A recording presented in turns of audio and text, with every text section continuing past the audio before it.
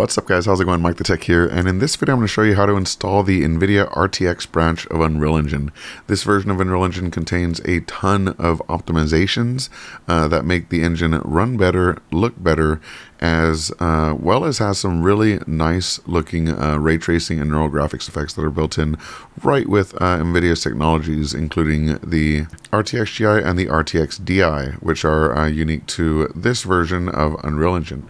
So before we get started, I am excited to announce that I now have a Patreon. So if you check out my Patreon here, you can uh, sign up and get shoutouts and thank yous in videos, um, exclusive uh, Patreon only videos, VIP status and priority support in the Discord, or even get a personal shout out at the end of every video. So, on to the video itself. For the prerequisites, uh, you are going to need Visual Studio 2022 installed. You can use the Community Edition for this, it should work fine. You're going to need a GitHub account, so make sure you sign up for GitHub first. And then we're going to navigate to Unreal Engine's UE on GitHub page. And that's going to run through the process, but I'm going to go ahead and run you through the process as well. Uh, what you're going to want to do is at unrealengine.com, you're going to go to your account in the top right click on account and then go to apps and accounts. Make sure you connect your GitHub account to Unreal Engine and you'll be asked to authorize and then you'll get an email which will invite you to the Epic Games uh, GitHub uh, organization. And that's it. Once you are in the organization, uh, we can go back to the RTX branches page and choose which version you'd like to install. So I'm going to choose 5.4 here. So I'll click Access NVIDIA RTX branch for 5.4 and it's going to take us to the GitHub page. Um, if you can't see this, it means your invitation did not go through. Make sure you go through the entire process and uh, make sure that the GitHub account is linked to your Unreal Engine account. Uh, once you're in, all you have to do is download the code for this. So let's go ahead and download the zip here. You can also go to releases and download here, but this is the 5.31 release. So we actually want the latest code from the uh, GitHub. So we're going to download that and that will take some time. All right, so it finished downloading. We're going to go ahead and click on the downloads icon and open that up. And here we have the Unreal Engine folder. So let's place that somewhere. I'm going to go into the Epic Games folder where I have the rest of my engines installed, and I'm going to drag this folder into that, and we'll let it uh, transfer over. All right, so it looks like that finished. Let's go ahead and open up the Unreal Engine NVRTX folder and the first thing we want to do, because this is much smaller than all the other Unreal Engines here, if we right click on 5.4 and check the size and compare them, you'll see that Unreal Engine 5.4 is 36 gigabytes, almost 37, and uh, Unreal Engine NVRTX is only 2.75. So a lot of files are still needed. So let's open up that folder again, and we're going to open setup.bat. So right over here, you'll see setup.bat.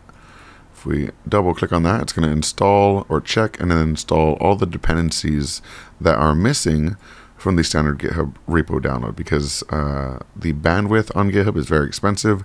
So I believe this basically downloads the rest of the dependencies from uh, Epic's servers. This will take a very long time, so I'm going to go ahead and pause and we'll continue when it's done. All right, so the dependencies have finished installing and it looks like we're at a uh, much healthier 61.7 gigabytes here.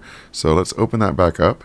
And this time we're going to double click on generate project files. So let's double click on that. You'll see that it checks everything here and then it goes through a quick process. All right, so the project files have been uh, installed or created, I should say. And now we have the UE5.sln file. You'll need Visual Studio 2022, which should be installed with those dependencies, but if it doesn't, uh, you'll just want to install Visual Studio 2022 uh, with Unreal Engine support. And then uh, we'll go ahead and double click on UE5SLN. And Unreal Engine uh, will open within Visual Studio. Now, this is going to look really intimidating, but don't worry, there's not too much we actually need to do in here. All we need to do is switch the mode to Development Editor, because we're going to use the Unreal Editor.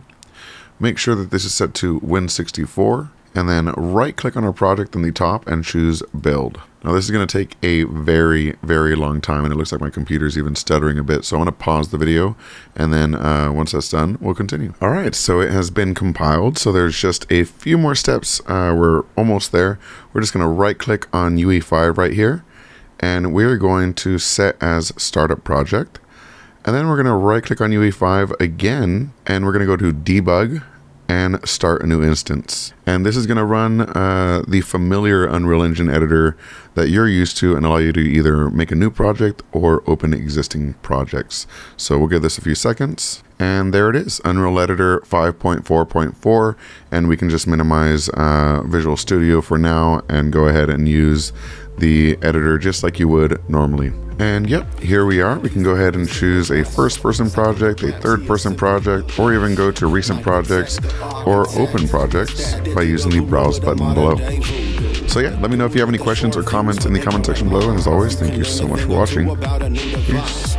Kudos, we rock that sudo administrative elevator command. We build it up or break it down in that virtual lab. From conversations to games to interviews with a broader view. He keeps it fresh, always brings something new.